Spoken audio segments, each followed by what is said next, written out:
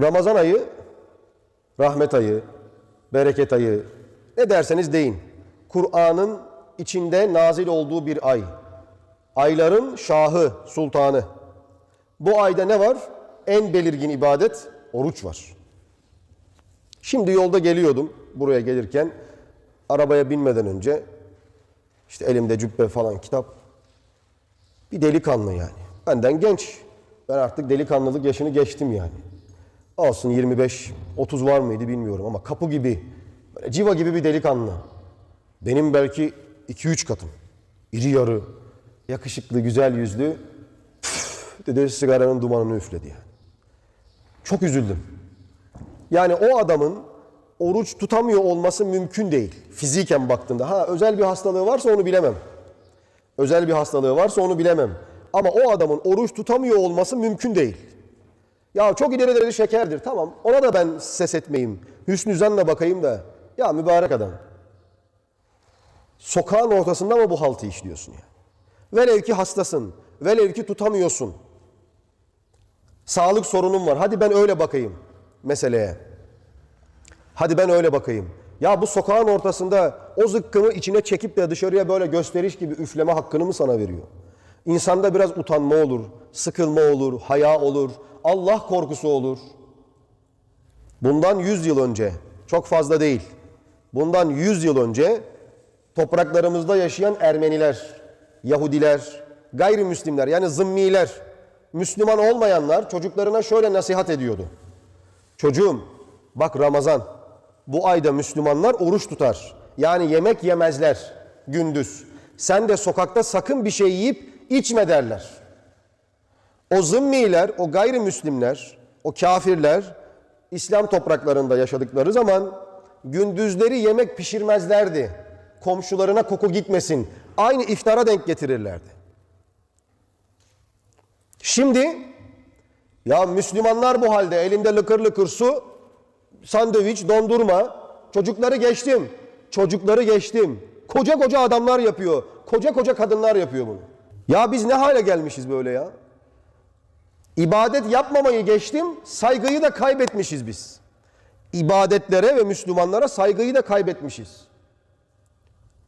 Ya sen oruçlu olmayabilirsin. Eskiden hanımefendiler bile hayız günlerinde oruç tutulmaz. Kadınlar hayız gününde oruç tutmaz. Yani adet günü denilen günlerde oruç tutulmaz. Namaz kılmazlar. Kadınlar bunu gizlerlerdi. Bir tek kocaları bilirdi bunu. O da aynı odada yattıkları için. Çocukları anlamazdı. Sokakta insanlara yine oruçlu gibi davranırlardı. Yemezlerdi, içmezlerdi. Hem o özel günü belli olmasın diye mahrem bir konuya hem de Müslümanlara saygı olsun diye. Kardeşim o 100 yıl önceki Ermenilerden, Yahudilerden daha bir aşağı toplum mu olduk şimdi biz? Ya 100 yıl önce sokakta koca koca Ermenisi, Yahudisi Osmanlı topraklarımızda yaşayan adamlar oruçlulara saygı duyarlardı. Şimdi bizim ben de Müslümanım ya deyip bana posta koyan adam çünkü biraz bir şeyini söyleyince hoca biz de Müslümanız diye bana posta koyan adam elinde dondurmayla dolaşıyor beygir gibi adam. E hoşgörü mü göstereceğim şimdi ben buna? Ben dille bak yapıyorum dille yapıyorum kalben de çok kızıyorum. Ben sabah sabah çıkmışım cuma vaazına geleceğim. O adamı görünce çok öfkelendim. Çok kızdım, üzüldüm. Kalben de buğz ettim. Bir Müslüman olarak görevimi yaptım. Şimdi de dilimle yapıyorum. Ama elle müdahale edemem ben. Sokaklarda Ramazan görüyor musunuz? Ramazan nerede biliyor musunuz mu? Camilerde ve teravih namazlarında. Onun dışında Ramazan yok memleketimizde. Farkında değil misiniz? Bir de hiç umurunda olmayanlar var. Yani Ramazan ayına hiç hürmeti olmayan ama sorduğunda kimliğinin Müslüman olduğunu söyleyen insanlar var. Bu topraklarda Osmanlı döneminde, Selçuklu döneminde yahut başka topraklardaki İslam ülkelerinde Ramazan ayı girdiği zaman Yahudiler bile, Ermeniler bile, Hristiyanlar bile çocuklarına evladım Ramazan geldi, Müslümanların ibadet ayı, yemek yemezler gündüz. Sen de sakın sokakta yemek yeme diye tavsiye ederlerdi. Bu topraklarda böyleydi. Şimdi bırak Ermeniyi Yahudi'yi. Ermeni Yahudi'yi bırak. Bizim Müslümanım diye yaşayanlarda bu hürmet kalmadı. Daha dün yolda yürüyorum. Bir yere gidiyorum. Önümde bir hanımefendi. Göğeyası başında örtü var. Göğeyası başında örtü var. Elinde sigarayla yürüyor bu kadın. Biz de arkadan yürüyoruz. Dumanın şu kamera kadar mesafemiz var. Tabi saldığında o pislik dumanını bana geliyor yani. Ben de oruçluyum. Yanımda da arkadaş var. Oruçluyuz. Dedim şuna bak ya. Şimdi bunu birine söylesen belki o kadın o gün oruç tutmaması gereken bir günde. Muayyen gün deniyor ya. Tamam. Benim senin oruç tutmanla tutmamanla işim yok. Saygısızlığınla, edepsizliğinle işim var. Velev ki o gün oruç tutmaman gerekiyor. Hanımefendisin olabilir. Yahut biri seferi yolculukta. İzin var mı? Var. Ben karışmam şimdi ne yapayım milletin nüfus kağıdına bakacak değiliz ki. Tamam kardeşim de sen nasıl bir insansın da Müslüman ülkede elinde sigarayla gezebilecek kadar dini değerlerini yitirmişsin. Sorsan özgürlük var ama. Ya böyle bir özgürlük mü olur ya? Özgürlükten kastı ne bu insanların ben anlamıyorum. İslam'a düşmanlık etmek özgürlük değil. Allah'a meydan okumaktır ya. Yarın o toprağın altına girdiğinde özgürlüğü gösterecekler sana. Geçen bir dostumuz gene hem cami cemaatimiz hem komşumuz. Ben İzmirliyim de bana İzmir'e gitmiş. bana İzmir'i anlatıyor. Ben İzmirliyim doğma büyüme. Üç kuşak. Hocam dedi deniz kenarında tıklım tıklım mekanlar. Herkes rakı içiyordu, içki içiyordu dedi. Şaşırmış. Yani biliyor aslında bu işlerde böyle oldu da ulu orta. Ramazan nerede var? Akşam işte teravih namazında var. O da kimisi sekiz kılıyor gidiyor. Kimisi gelmiyor. Yani durumumuzu anlıyor musunuz? Hep böyle birilerine laf atmak. Efendim işte devlet yetkilileri böyle yapıyor, şöyle yapıyor. Ya bir kendimize bakıyor muyuz biz aynaya? Bir etrafımıza bakıyor muyuz? Bunlar son yıllarda oldu. Özgürlükle oldu bunlar. Özgür ya insanlar Ramazan'ın ortasında sokakta yiyip içip sigarayı çekebilir. Sen ne karışıyorsun hocam? Ya bir karikatür gördüm. Bir karikatür gördüm. Çok güldüm ya. Hakikaten artık bunu yaşıyoruz. Hani bir böyle biri karikatür çizmişler. Böyle böyle çirkin bir herif çizmişler. Elinde yemek var. Etrafındaki insanlar da böyle ona bakıp hani şuna bak hani ulu orta yemek yiyor. Ramazan ayı. Karikatür bu. Elinde yemek olan adam diyor ki şuraya bak ya diyor. Gözümün içine baka baka oruç tutuyorlar. Bir de bana laf söylüyorlar diyor. İş tersine döndü ya. İş tersine döndü ya. Eskiden bu topraklarda Ramazan ayında açık lokanta, restoran bulamazdın. Doğuda gene biraz öyleydi. Oraları da bozuluyor artık. Erzurum. Ben Erzurum'da askerlik yaptım. Gördüm bunu. Kapalı mekanlar gördüm. Hay Allah razı olsun. Bir de Üsküdar'da gördüm. Geçenlerde böyle gittik yürürken bir dikkatimi çekti. Devamlı gidip geldiğim bir mekan. Baktım bomboş. Hiç fark etmedim. Çünkü yan mekanları dolu. Geri dönüşte ne oluyor dedim ya burada. Arkadaş dedi ki hoca arkadaş. Hocam açmıyor dedi bu dükkanını. Boğaz'da bir restorandan bahsediyorum. Bir kafeteryadan bahsediyorum. Her baba yiğidin harcı değil o. İftara kadar dükkanını kapalı tutuyor. İftarda açıyormuş. Bir de iftar yaptık. Dedim helal olsun ya. Bilseniz o dükkanların cirosu ne kadar yapıyor, masrafı günlük masrafı ne kadar, bunu her baba yiğit yapamaz. Allah razı olsun. Neydi? Mekanın adı da Paçi. Paçi diye bir caminin yanında orada bir dükkan var. Restoran var. Şu an kapalı. Hatta geçen gece gittim teraviden sonra gördüm sahibiyle. Dedim sizi tebrik ediyorum. Allah için tebrik ediyorum. Benim çıkıp Üsküdar meydanında Halil Konakçı olarak Üsküdar meydanına çıksam beyler bayanlar Ramazan ayı yemeyin içmeyin oruç tutun desem bu kadar tesirli bir tebliğ olmaz. Çünkü ben her yerde konuşan bir adamım. Sıradan bir iş. Ama böyle bir adamın o dükkana kilit vurması buraya geliyormuş dükkana açık Ramazan'da açmıyoruz diyormuş. Bir de diyor kavga ediyoruz bazılarıyla. Ramazansa Ramazan niye açmıyorum? Ben tutmayacağım belki de özgürlük var ya. Ya insanlar cehenneme doğru özgürler doğru. Şimdi özgürler İslam hukukunun yaptırımları olmadığı için. Özgürlük böyle ama İslam İslam hep söylüyorum bir dindir, sosyal bir dindir, hukuk dinidir. Bizim doğduğumuz günden mezara girdiğimiz güne kadar tuvaletimizden, yatak odamızdan, işimizden, aşımızdan, arkadaşlığımızdan, evlenmemizden, boşanmamızdan her türlü hukukumuza karışan sosyal ve hukuk dinidir. Öyle özgürlük değildir. Yani Allah hadi indirdim bu Kur'an'ı. Alın ne yapıyorsanız yapayım. İster yaşayın ister yaşamayın diye bir düzen değildir bu. Bu dinin kanunları, kuralları olduğu gibi yaptırımları da var.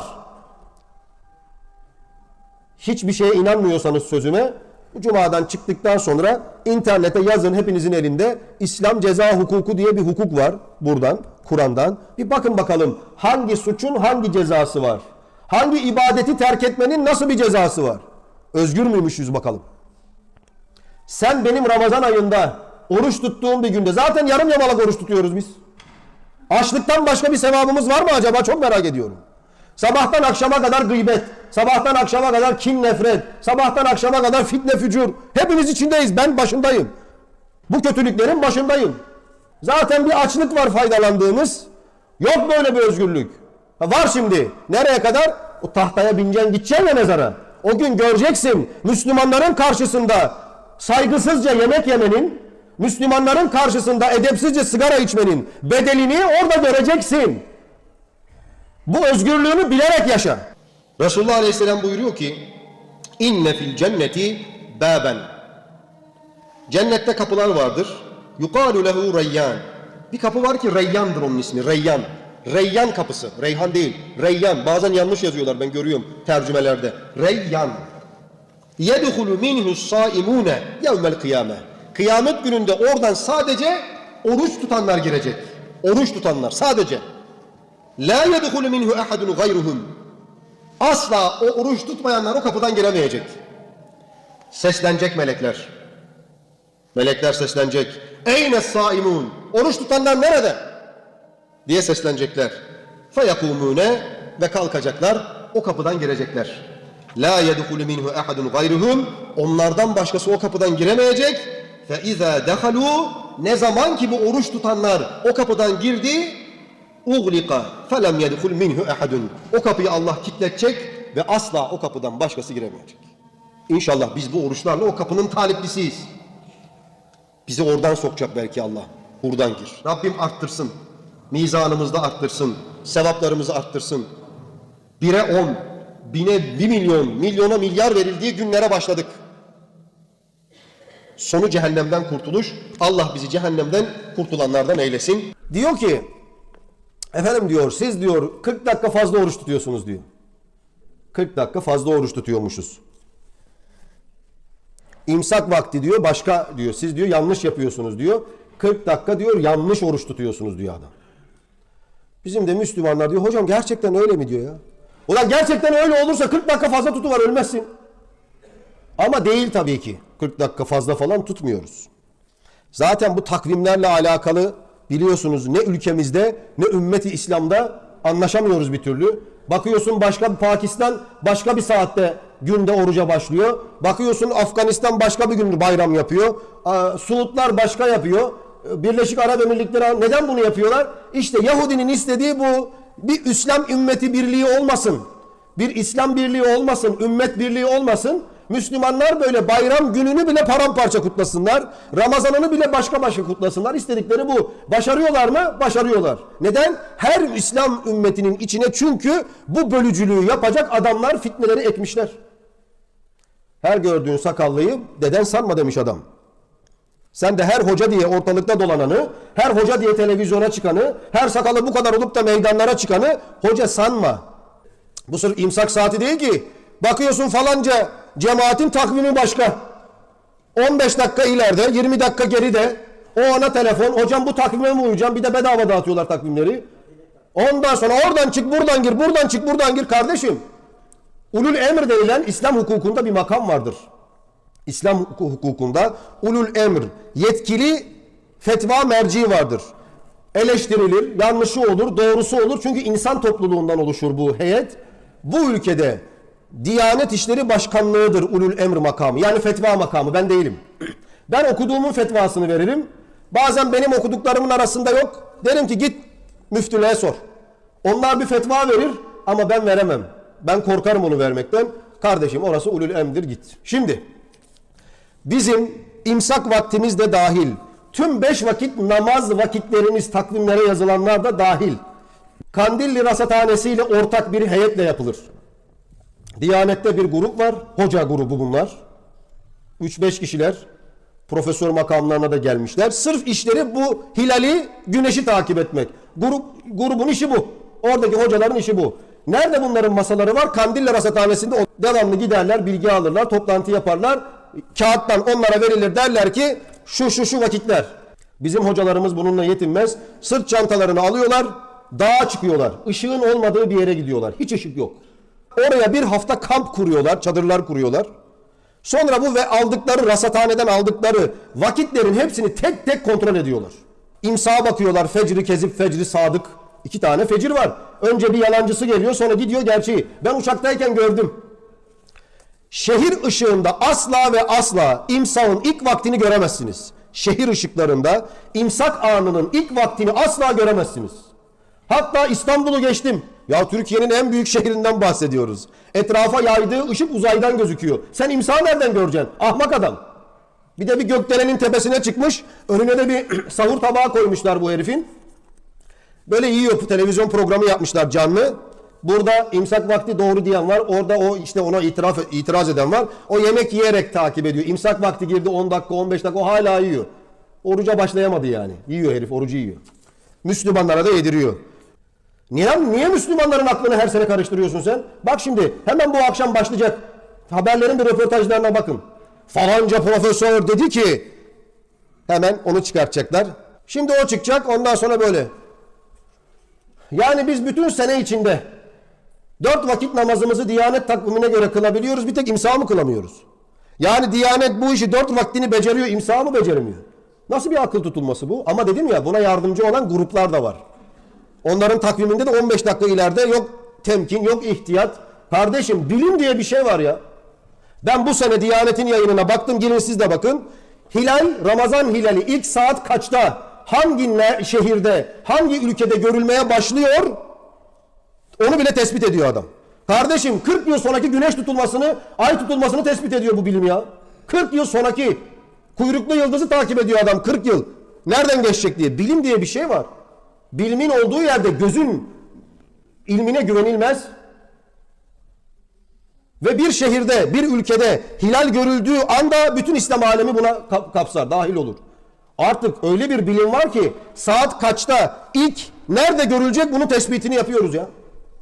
Böyle bir bilim varken yok 15 dakika ileri yok 5 dakika geri. Efendim zaten bu 15 dakika ileri geri yapanlar camiye de gelmiyor ha. Cuma'ya bile gelmiyor. Kendi mekanlarında kilitli kapıların ardında kılıyorlar. Cumaları da olmuyor zaten. Fıkıh söylüyor ben söylemiyorum ki. Senin mahallenin başında cami varken sen kendi mekanını kilitleyip kılarsan oranın adına mescidi dırar derler yani. Aç oku. Mescidi dırar ne demek?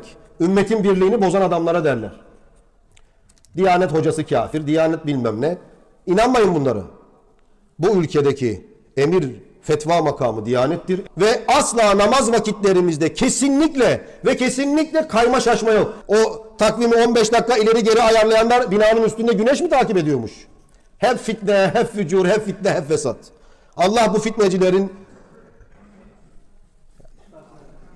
Amin. Bir de ne olacak şimdi? Teravih namazı. 20 rekat değil teravih namazı. 30 rekat değil, 45 rekat değil. 4 rekat. Kim daha hızlı kıldırıyor, kim daha yavaş? Ya Rabbel Alemin, Ya İlahel Alemin. Efendimiz Aleyhisselam iki gece ashabına namaz kıldırdı. İki gece. Ramazan'da iki gece.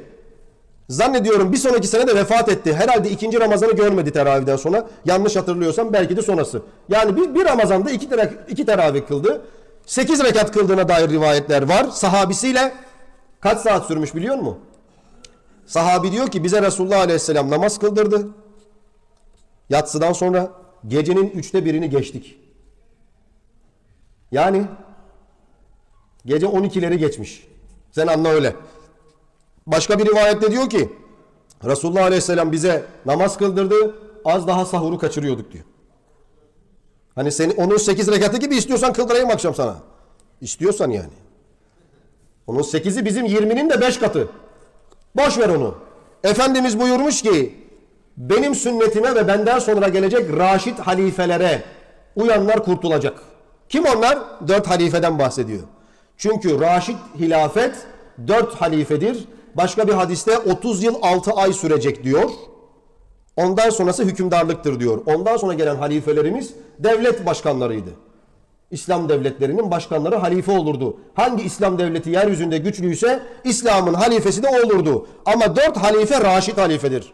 Yani Efendimizin sonrasında gelen ve Efendimizin de onlara uyan kurtulur dediği dört halifedir. Bunlardan biri de Hazreti Ömer'dir. Bir gün Resulullah Aleyhisselam'ın vefatından sonra Ramazan ayında Hazreti Ömer halifeliği zamanında Hazreti Ebu Bekir'de de böyle geçmiş. Bir bakıyorlar Ramazan ayında herkes bir kenarda namaz kılıyor yatsıdan sonra. Dağınık dağınık. Kimi 8 kılıyor, kimi 12 kılıyor, kimi 20 kılıyor falan filan. Hazreti Ömer geliyor böyle mescidin kapısına. Bakıyor ki Müslümanlar darmadağın ya. Müslümanlar darmadağın. Kapıda sonra bir sahabeye diyor ki geç imamlığa. Emir veriyor. Halife. Halife ne derse İslam dünyası ona itaat etmek zorunda. Birliği korumak adına. İslam'ın birliğini yani sen kalkıp Ramazan'ı bilmem hangi günde bayramı hangi günde yapmayasın diye İslam halifesi böyle bir makam. Geçiyor kapıya diyor ki falanca sahabiye geç imamlığa siz de arkasına geçin 20 rekat kılacaksınız diyor. Talimatı o veriyor. Hazreti Ömer bu talimatı verdiği gün Hazreti Ali de o cemaatin içinde, Hazreti Osman da o cemaatin içinde, Hazreti Halid bin Velid de o cemaatin içinde, Hazreti Muaz bin Cebel de o cemaatin içinde, Ammar bin Yasir de o cemaatin içinde, Enes bin Malik o cemaatin içinde, Abdullah İbni Ömer o cemaatin içinde, Abdullah İbni Abbas o cemaatin içinde. Kimse de kalkıp babacım sen ne yapıyorsun böyle dememiş. Bu saydığım isimler sahabenin en büyükleri. Kalkıp da ya Ömer kafandan namaz mı uyduruyorsun dememiş. Bugün sen kimsin ya? Üç tane titri aldın diye isminin önüne Hazreti Ömer'e mi posta koymaya çalışıyor? Sen ne ahlaksız bir adamsın ya? Ondan sonra gelen hiç kimse de bu uygulamayı bozmamış. Ömer vefat etmiş, halife Osman olmuş. Osman vefat etmiş, halife Ali olmuş. Hatta ondan sonra Muaviyeler, bütün sahabiler, halifeler bozmamış bu uygulamayı. Teravih namazı Raşid halife sünneti üzerine Efendimizin talimatıyla 20 rekattır. Tartışması yoktur. Bitti. İster uyarsın, ister uymazsın. Kıymetli müminler, Ramazan ayındaki sohbetlerimize gönül mutluluğuyla devam ediyoruz. Bugünkü konumuz ahiret bilinci. Ramazan'da ahiret bilincini daha iyi kavrayabilmek, ahiret bilinciyle daha bir umut var olabilmek, bütün sıkıntılarımıza ahirete iman maddesiyle şifa bulabilmek. Şimdi ahirete iman yani ahiret nedir? Ahiret kelime manası olarak ahir, sonra gelecek olan demek, en son demek. Yani bu dünya hayatından sonra yaşanacağı için ahiret ismi verilmiş. Yevmel ahir, ahiret günü. Yani bugünlerden sonra yaşayacağımız bugünlerden sonra gelecek bir gün olduğu için bu şekilde isimlendirilmiş. Ahiret günü Kur'an-ı Kerim'in birçok ayetinde korkutmak ve müjdelemek için Allahü Teala tarafından defalarca zikredilmiş yaşayacağımız dehşetli bir gün. Ahirette başımıza gelecek olan bir takım şeyler var. Ahirette kavuşacağımız bir takım müjdeler var. İşte bu ahiret bilinci bizlerde ne kadar sağlam olursa, müminlerde ne kadar kavileşmiş olursa, dünyada Allahü Teala'nın emretmiş olduğu ibadetlere o kadar sıkı sarılırız, yasaklamış olduğu bazı şeylerden de o kadar rahat bir şekilde kaçınıp içtinab edebiliriz. Öncelikle bir Müslümanın hakiki manada teslim olabilmesi için ahirette başına gelebilecek, ahirette karşılaşacağı işlerden haberdar olması gerekmektedir. Bir gün çok sevdiğim bir dostum, kız kardeşi için dert yakınırken işte şöyle namaz kılmıyor, anlatıyorum, başını örtmüyor, şunu yapmıyor derken dedim ki abi yaşça benden büyük en eski dostlarımdan biri. Abi dedim kız kardeşin ahiretten haberdar mı? Yani ahirette başına ne geleceğini biliyor mu dedim yani. Hiç konuşmadık dedi. Bir gün bir yerde üçümüz karşılaştık. Bu konu gündeme geldi. Dedim ki ahirette başına ne geleceğini biliyor musun? Bir şeyler var ama çok bilmiyorum dedi. İşte böyle bir inanç zayıflığıyla Allah'ın emirlerine sarılıp yasaklarından kaçmamız mümkün değil. Bakınız en güzel şey Allah'ın rızasını kazanmak için yaşamak. Allah'ın rızasını kazanabilmek için ibadet edebilmek. Lakin şunu da inkar edemeyiz ki biz daha o makamlara varamadık. Yani bir Hazreti Ebu Bekir gibi olamadık. Hazreti Ebu Bekir Efendimiz'e soruyorlar. Diyorlar ki e, sen bu sıddıklık makamına, sıddıklık ünvanına nasıl kavuştun? Hazreti Ebu Bekir radıyallahu anh Efendimiz buyuruyor ki İnsanları seyrettim. İki sınıf insan gördüm. Kimisi cenneti arzuladığı için ibadet ediyor, kimisi de cehennemden korktuğu için ibadet ediyor. Ben üçüncüsü oldum. Nedir o üçüncüsü? Ben Allah'ın rızası için ibadet ettim. Allahü Teala'nın da en hoşnut olduğu, en razı olacağı ibadet şekli bu. Şimdi birbirimizi, kendimizi kandırmanın hiçbir manası yok. Ben Allah rızası için yapıyorum demenin de birbirimizi kandırmanın ötesinde bir laf olmadığını iyice bilmemiz gerekiyor. Çünkü ben her zaman şunu söylüyorum. Kişi kendi kalbiyle muhasebesini yapsın. Eğer ki Allahü Teala cehennemi önümüze koymasaydı ben de dahil olmak üzere hiçbirimizin alnı secdeye gelmezdi. Ahiret bilinci olarak cehennem olmasaydı, sadece cenneti koymuş olsaydı biz o kadar aciz insanlarız ki dünyadaki zevkü sefadan yetinip ahiretteki cenneti görmezden buradaki peşin olan zevkle yetinmeyi bilirdik. Lakin ahiretteki cehennemi önümüze koyduğu için bugün korkudan dolayı alnımız secdeye geliyor. Evet Allah'ımızı seviyoruz, Allah'ımıza hürmet ediyoruz lakin Allah'ımızdan da korkuyoruz. Bazı yanlış düşüncelerden biri de Allah'tan korkulur mu? Allah'tan korkulmaz, Allah sevilir. Bu tamamen şeytani bir sözdür. Allahü Teala Kur'an'ın muhtelif yerlerinde kendisinden korkulması gerektiğini ifade etmekte. İttakillah, Allah'tan sakının, Allah'tan korkun manasında takva ayetleri vardır. İşte biz bu cehennem korkusuyla biraz ibadet ediyoruz. Evet cennet için de ibadet etsek, cehennem korkusuyla da ibadet etsek, Allah rızası için de ibadet etsek hepsi makbuldür. Hepsinin sevabını alıyoruz. Ama Allah bizi rıza ilahi için ibadet eden kullarından olmayı nasip eylesin. Kur'an-ı Kerim'in çeşitli ayetlerinde ki ilk inen ayetlerine baktığınızda hep ahireti anlatır. Emir yoktur. Namaz kılın, oruç tutun, zekat verin, hacca gidin bunların hepsi Medine döneminde olmuştur. İslam'ın ilk bina edildiği ayetler genellikle 30. cüzdedir. Bakmanızı tavsiye ediyorum. Hep ahiret, kıyamet, cennet, cehennem bu tip ayetlerle, surelerle e, insanları motive edip doğruyu göstermeye çalışmıştır e, Efendimiz Aleyhisselam. Gelen vahiyler de hep ahiret bilinci üzeredir. Mesela ilk olarak 30. surenin başında Nebe suresi yani halk arasında Amme diye bilinen e, Nebe suresi bulunmaktadır. O dönemin kafirleri kıyamet mi gelecek, ahiret var mı, tekrar mı dirileceğiz bunlara inanmıyorlar idi. İşte o yüzden bu sureyi celile indi. Estağfirullah. Amme yetesâelûn anin nebe'il azîm ellezî hum fîhi muhtelifun. İşte onlar büyük olan o haberden geleceğinde ihtilaf mı ettiler? O günden ihtilaf mı ediyorlar? Sana onlardan mı soruyorlar? Yani peygamberimize gelip bazı Mekkeli müşrikler yani biz öldükten sonra dirileceğiz mi? Kemiklerimiz çürümüşken mi dirileceğiz? Allah bize hesap mı soracak gibi bir takım sorularla Efendimiz'i e, sohbet ederlerken bu ayetler indi. Onlar inanmıyorlardı çünkü. Ahiret bilinci bize ibadetlerimizi kolaylaştırır. Haramlardan uzak durmamızı sağlar. Üç, başımıza gelen musibetleri ahirette nasıl olsa karşılığını alacağım diye daha iyi göğüslememizi sağlar.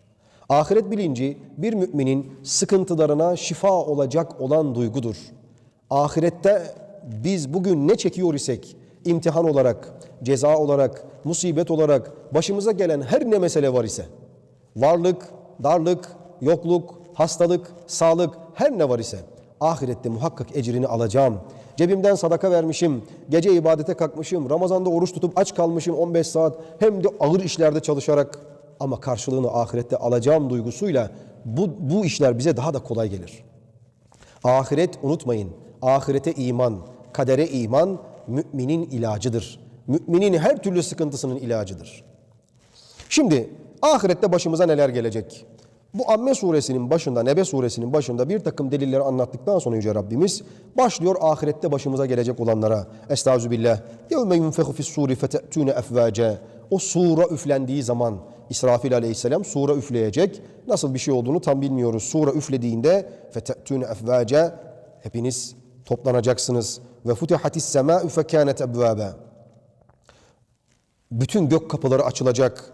Ve suyyiratil cibalü fekânet serabe. Gördüğünüz bu koca koca dağlar yürütülecek, serap gibi olacak, rüya gibi olacak. İnne cehenneme kânet mirsade. Cehennem de mahşer alanına getirilmiş böyle hak ettiklerini yani Allah'ın vaat ettiklerini almak için bir gözcü gibi bekleyecek. Mirsad gözcü demek. Gözcü gibi bekleyecek cehennemlikleri toplamak için. لِلطَّاغِينَ مَآبًا لَابِث۪ينَ ف۪يهَا اَحْقَابًا İşte o azgınlar için kurulan bu cehennemde asırlar boyu kalacaklar. Devam ediyor ayeti kerime. La yezukune fiha berda ve la şarabe. Cehennemde öyle tatlı serin bir içecek yok. İlla hamimen ve gassaka. Ancak irin içecekler. Yani yanıp da ölüler e, orada cehennemliklerin yanarak etlerinin suyularının böyle akıp gittiği o iğrenç suları içecekler. Cehennemde büyük bir azap var. Allah bizi bu azaptan muhafaza eylesin. Tabi burada e, cehennemi sayarken diyor ki ceza vifaka bu tam da işlediğiniz günahların karşılığı olan cezalardır. Fazlalık yoktur, zulüm yoktur. İşlediğiniz günahların karşılığı vardır. Ama tabii ki bir de cennetlikler vardır. İnne lil muttaqine mefazen hadaika ve a'nabe ve kevaibe etrabe ve ke'sen dihaka. İşte o muttakiler için kurtuluş yeri olan bir cennet vardır. Onlar böyle bağların, bahçelerin içindedir. Onlar için eşler vardır ve kadehlerde şaraplar içerler ama bugün dünyadaki şarap değil, cennet içeceği olan şaraptan. La yesme'une fiha lagve ve la kizabe. Orada hiçbir şekilde boş laf ve yalanlama asla duymazlar. Cezaen min rabbike ata'en hisabe. İşte burası çok önemli. Cehennemde çekilecek olan azapların tamamı eşit. Namaz kılmamanın cezası belli, oruç tutmamanın, tesettüre uymamanın cezası belli. İçki içmenin, kumar oynamanın, hırsızlık yapmanın, efendim eşcinsellerin, kumarbazların, gıybet edenlerin hepsinin cezası eşit bir şekilde verilecek ama cennetliklerin karşılığı ise cezaen min rabbike ata'ni hisabe. Allahü Teala cennette kullarına hak ettikleri için değil, yaptığı iyi amellerin karşılığı olarak değil, Rab kendi fazlından, kendi lütfundan ikram edecek. Şunu unutmayın. Biz ömrümüz boyunca hiç günah işlemeden ibadet etsek, devamlı namaz kılsak, oruç tutsak sadece tek bir gözümüzün karşılığını bile Allah'a ödeyemeyiz. Allahü Teala bizi cennete koyacaksa ki tek duamız o, sorgusuz sualsiz cennete girebilmek, imanla ölebilmek, işte bu Allah'ımızın fazlından asla kendimizin kazanacağı bir iş değil. Efendimiz Aleyhisselam buyuruyor ki sallallahu aleyhi ve sellem, hiçbiriniz ibadetlerinizle cennete giremeyeceksiniz. Ancak Allah'ın fazlından gireceksiniz. Ya Resulallah sen de mi giremeyeceksin? Evet diyor ben de kendi ibadetimle giremeyeceğim. Ancak Allah'ın lütfuyla. Ki Efendimiz öyle ibadet ederdi ki, öyle oruç tutardı ki açlıktan karnına taş bağlardı. Öyle namaz kılardı ki ayaklarından kan akacak kadar kıyamda dururdu. Buna rağmen kendisi ben de giremeyeceğim buyuruyor. Allah bizi fazlıyla cennetine koyduğu müjdelenmiş kullarından olmayı nasip eylesin. Evet dediğimiz gibi ahirete iman müminin yaralarının ilacıdır. Ahirete iman imtihanlara sabredebileceğimiz en büyük güç kaynağımızdır. Ahirete ve kadere iman her şeyin Allah'tan geldiğine son son duygumuzla kavi olup son duygumuzla kendimizi teslim edip bütün imtihanlara, bütün varlığa, bütün yokluğa, hastalıklara ve sağlıklara tüm kalbimizle ve imanımızla göğüs gerip ecrini ahirette Allah'tan alacağımıza iman ederek ferahlayacağımız bir unsurdur. Allah ahiret imanımızı güçlü eylesin. Ahirete inanmayanlar, kadere inanmayanlar Müslüman sayılmazlar. İmanın altı şartı vardır. Bunların içinde de ahirete iman vardır, kadere iman vardır. Kader ve ahiret Allah'ın ilmindedir. Bizim hiçbir malumatımız yoktur. Şunu biliyoruz ki Kur'an-ı Kerim'den ve hadis-i şeriflerden ahirette bizi muazzam bir hayat bekliyor. Başta hesap bekliyor. Hesaptan sonra kurtulabilirsek sonsuz bir cennet hayatı bekliyor. Ama hesaptan kurtulamazsak, imansız ölürsek sonsuz bir cehennem, imanla ölüp günahlarımızı ödetemezsek, Allah'a affettiremezsek belli bir süre sonra belli bir süre müddetince cehennemde azap çekmek bekliyor. Allah ahiretimizi, akıbetimizi hayır eylesin.